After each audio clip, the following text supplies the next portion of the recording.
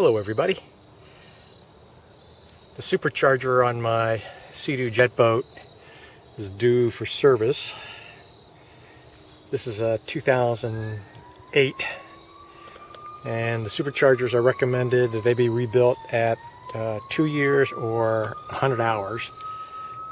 I'm at about 120 hours and 12 years.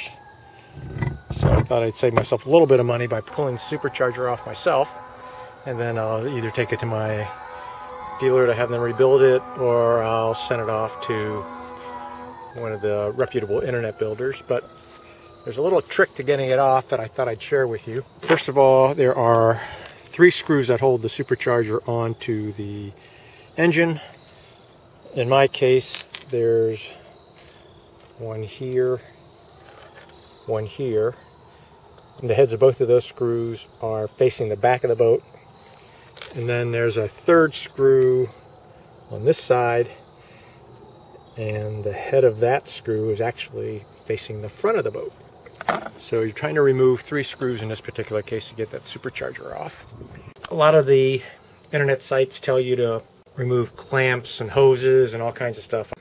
What I found is the biggest trick to getting this off easily deals with the muffler clamp.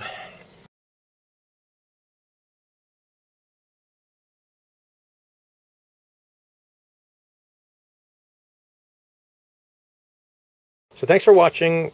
That's my hint, not only for you, but for myself in the future.